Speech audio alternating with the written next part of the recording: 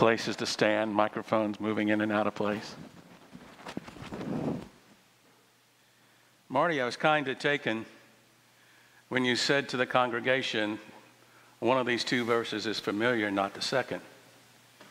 And I'm glad to see how the Spirit of God enabled right now to include that second verse, the 17th verse. The children's worker, Lydia, where is she? She's already gone. And then she picked up on the word so. One thing that I've noticed over the year of this pandemic is when I watch different sporting events, usually you would see in the stands, even at college games, somebody holding up a sign with John 3:16. Maybe my eyesight's getting bad, Bobby, but I didn't see it this year. I watched all the races yesterday up in Kentucky and I saw some wonderful hats, but I didn't see anybody holding up a sign saying John 3:16. But then I came here to Ringgold today at 9 o'clock. And I see a congregation of people that have not forgotten what it means to so love. Seeing it on video to Haiti, seeing it on your faces. And Bobby, I like the way you all have those connection groups, but don't take this as a negative, but I was beginning to look places that I can go and continue to learn and run and have fun. And when I saw all the different ways you could give, I know this part is true. Probably, if I would guess, Marty, 50% of this congregation is involved in ministry during the week and not just on Sunday. And not just on special times in the life of the church. For truly they are disciples of Jesus Christ 24 hours a day. And as reminded by Lydia in our baptismal vows and confirmation, we don't do it in our own strength. We do it in the strength of God Almighty and for his honor and glory. John 3:16 is often quoted.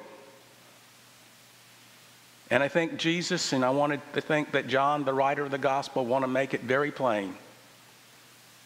The important part of the whole scriptures, in my opinion, is for God so loved the world.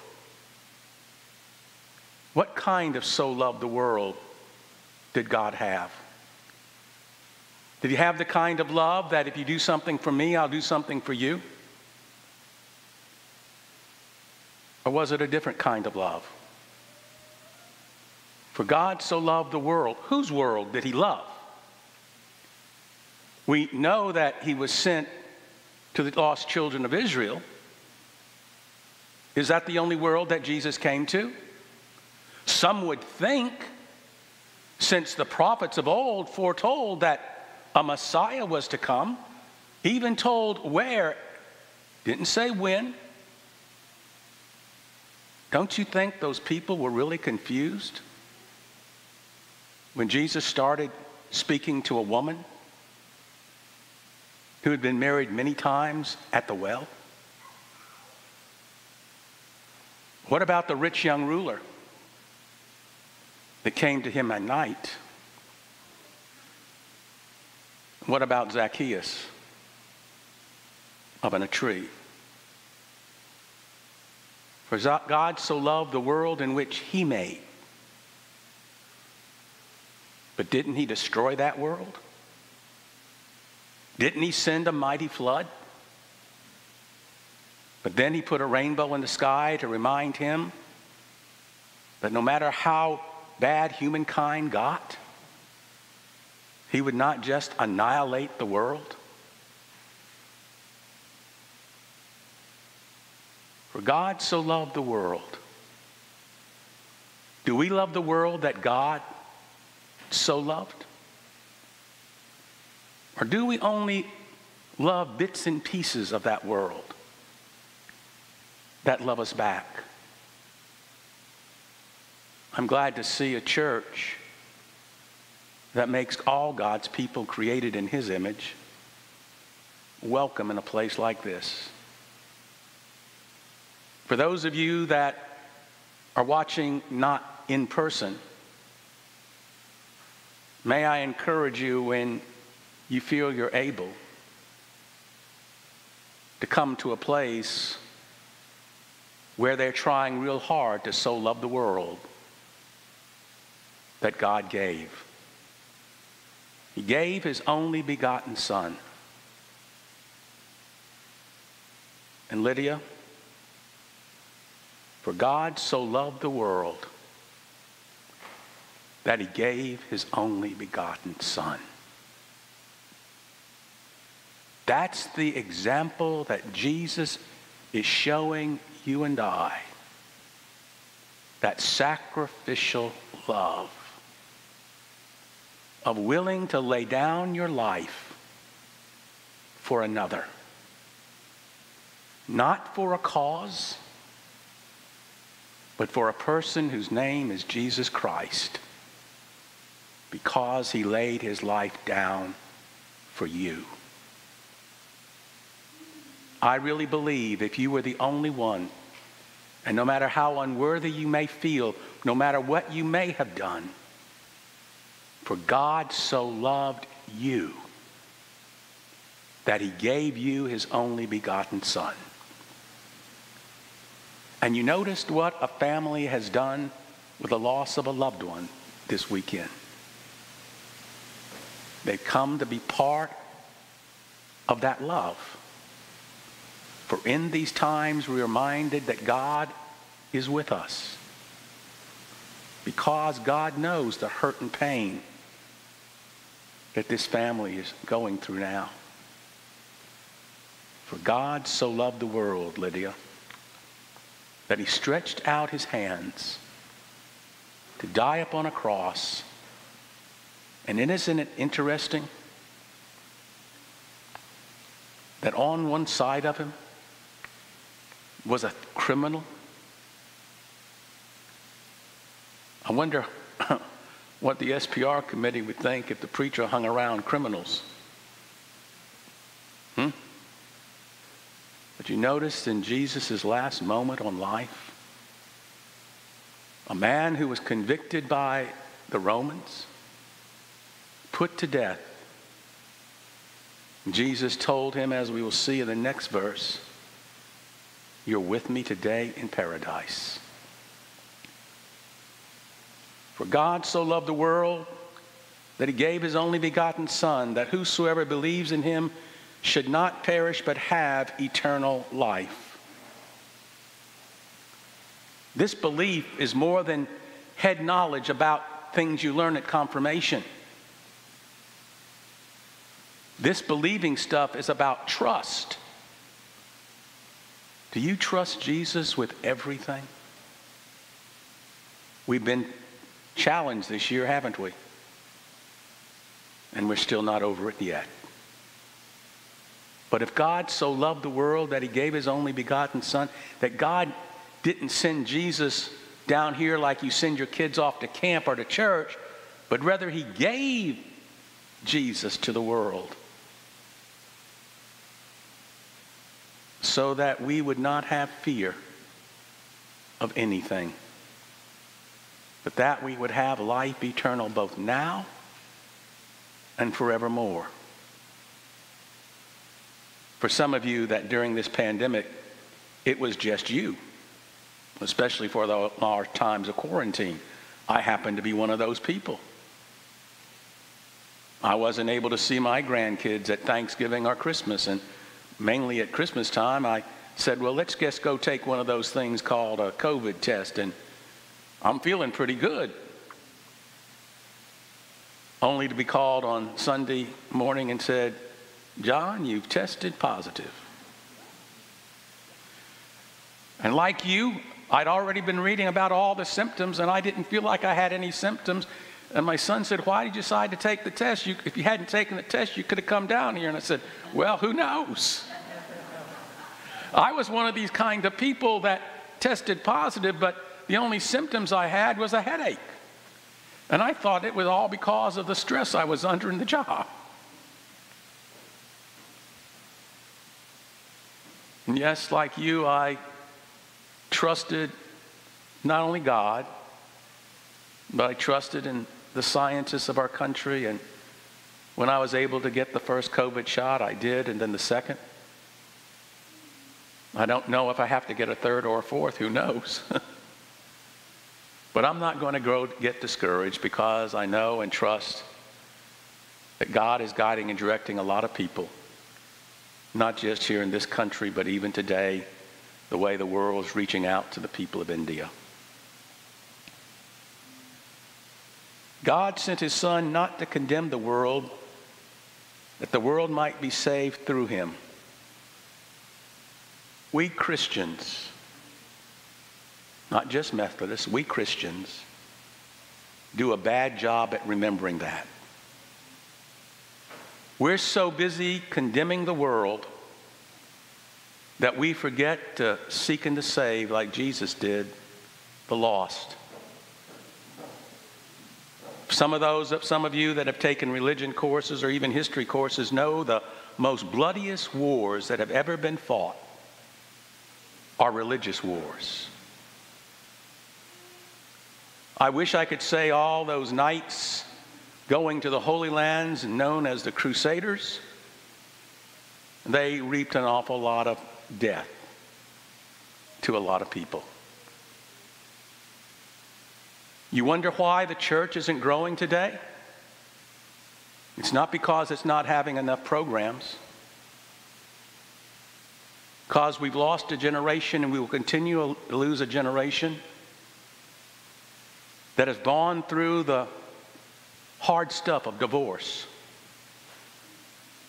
And when they see churches fight, it reminds them of the fights that their mom and dad had before they broke up. I was 12 years of age, and we'd been going to this non denominational church in Pennsylvania. Back then, they had in this church, they had boys going to one class and girls going to another.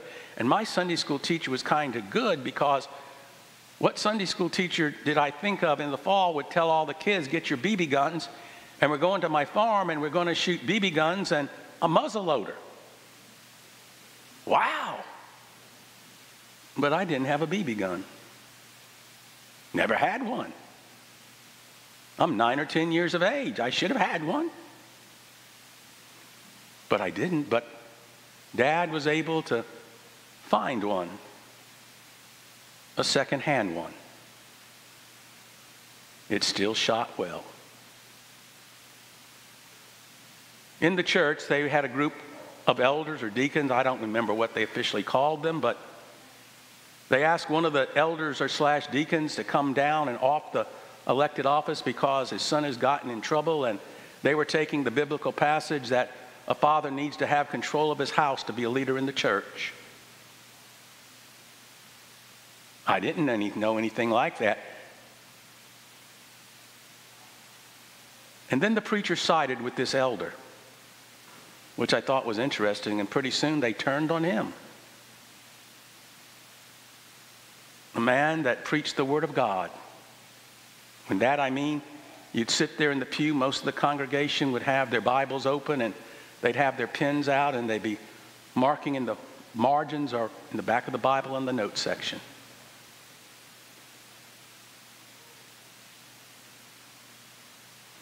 That hurt. But on top of that, that same year, I was going with my dad hunting with an actual gun. The next year, he got orders to go to Korea for 18 months. They call those a hardship tour. And you know what happens to a young man going from 12 to 13, 14? It's rough. And so now God had me mad at him, and the federal government had me mad at them. And so when the Vietnam War broke out, you could find little Johnny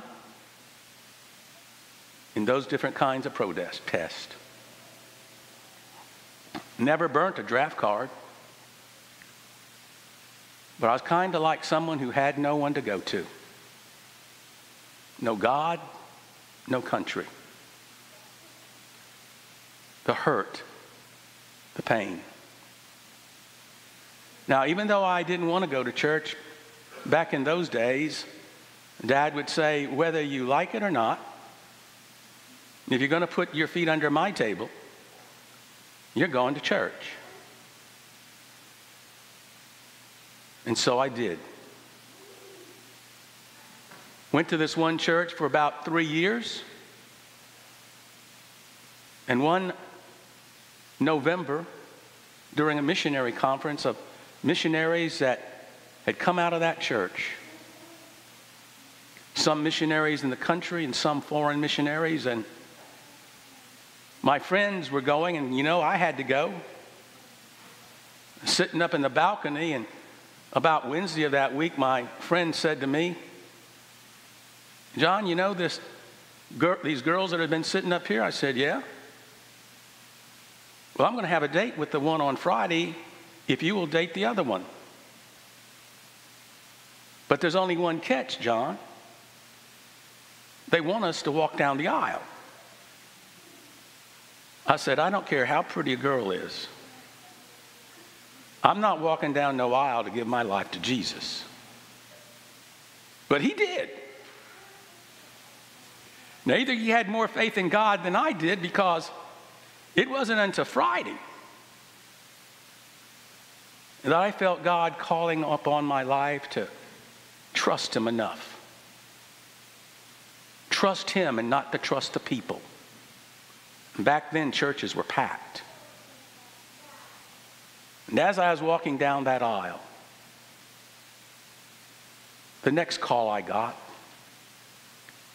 was I want you to preach for me and to serve my church. I didn't know it was going to be a Methodist church. And when I got there next to the pew where mom and dad were sitting and I got that call, call I stopped and I just broke out laughing. Mom cut her eyes at me like moms do. Get a hold of yourself, Johnny. When I got down there, the preacher said, You're not only accepting Christ as your Lord and Savior, but you've experienced his unconditional love. That no matter how mad you got at him, he still loved you along the way. We talked about my call. I said, I don't know why God wants me because I was already prepared to get a commission to West Point to be a career Army officer. Vietnam was going on, and everybody who went to service wanted to get what they called as their combat infantry badge. And the only way you could do that was to be so many months in actual combat. And there hadn't been combat for a long time. And so a lot of young officers and a lot of young soldiers were wanting that badge.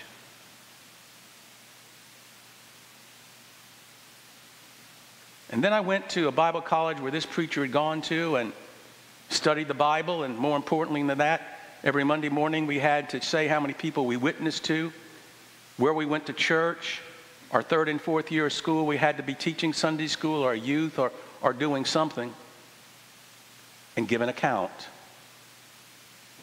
I didn't really like that, but I did it.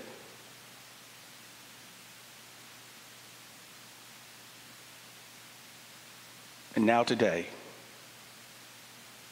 I look at churches across this area. I'm not even looking at the whole state, but when, when I was able to drive from church to church to go preach, I don't see that many cars in anybody's parking lots anymore, regardless if they're a small country church or a Methodist or Baptist church. Because I'm afraid people have been too cruel to one another. Now, what do you mean, John? When I first came on the district, I went to two or three churches on Sunday to visit. I don't know if this has happened to you. It's happened in both a small church and a large church, but I will say it hasn't happened to me when I first came to Ringgold Methodist Church. I would get to church early and I'd go sit in the pew, and I usually sit in the back until this event happened, and then I started getting to church late. Because I sat down, I was preparing myself because of the week that a DS has.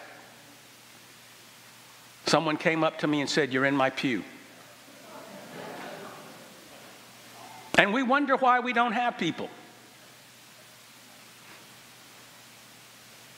For God so loved the world that he gave his only begotten Son.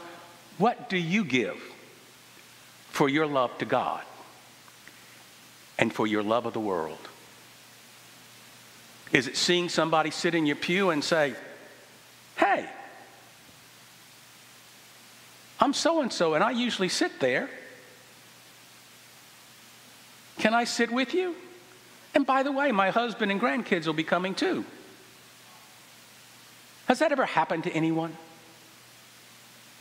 I hope I can do a better job when I'm sitting in the pew of after seeing things to let people know that you're in the house of God and God loves you. Do you believe in Him? Have you put your whole trust in Him and the old word that I know, been born again? He came for you because He loved you so much. He came that He might love and glorify and give you eternal life. And if you don't know this Jesus, I believe he's made himself plain to you because he's brought you here. But if you need more information, check with one of his disciples. Check with one of his witnesses. Oh, there is our problem. We are to witness for Christ, if not by word, but by deed. And when things go rough at the workplace, do the workers know that you are a disciple of Jesus Christ? And if so, do they see how you work under hard times and distress and then say, Tell me what keeps you going? After all, he came to you. Well, perhaps you already believe and trust in him